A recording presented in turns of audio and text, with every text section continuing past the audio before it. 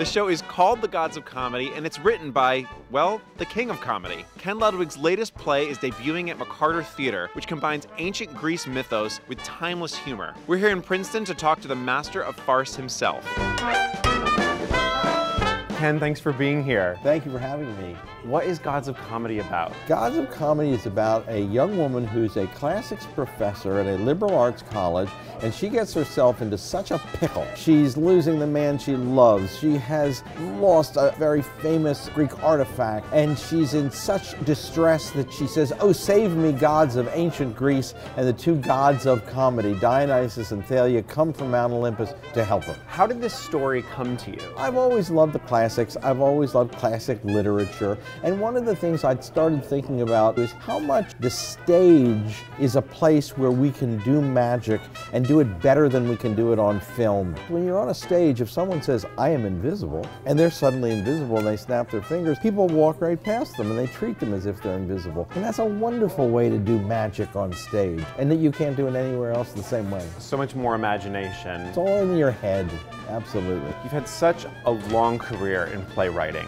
I can't imagine that comedy is an easy thing to keep up with. Edmund Kean said, dying is easy, comedy is hard. And there's a lot of truth to it. It is hard to, to get a comedy just right. And look, and so you write something in the confines of your own study, you think it works, and you think that may hopefully the comic lines will hit the bullseye each time. But of course, when you get an audience in front of you, you find out that certain things work and certain things don't. Plays are not written, they are rewritten. And that's always true. When you were starting out in playwriting, where did your comedy inspiration come from?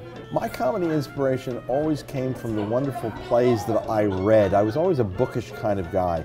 And I realized early on this guy Shakespeare is a god. There's nothing like the four great comedies. And then you get to Molière and you get to Goldsmith, She Stoops to Conquer, The Rivals by Sheridan, Wild Oats by John O'Keeffe.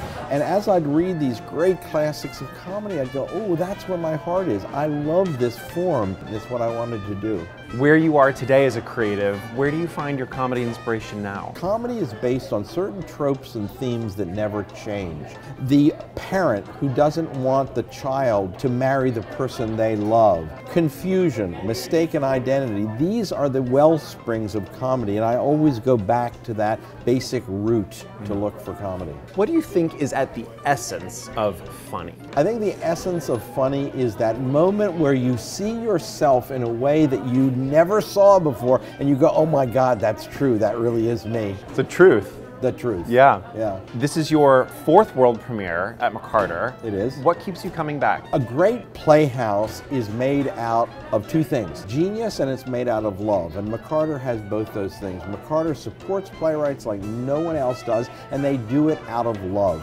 What kind of a night am I in for when I come to see this show? When you come to this show, you are in for, I hope, a lot of comedy, a lot of truth, and the joy of seeing a society where all those jigsaw puzzle pieces at the beginning of the play get thrown up in the air and you think they can never be solved. And then finally at the end, they lock back together and we have a sense of peace and justice and rightness that makes us go home saying, there's something to live for.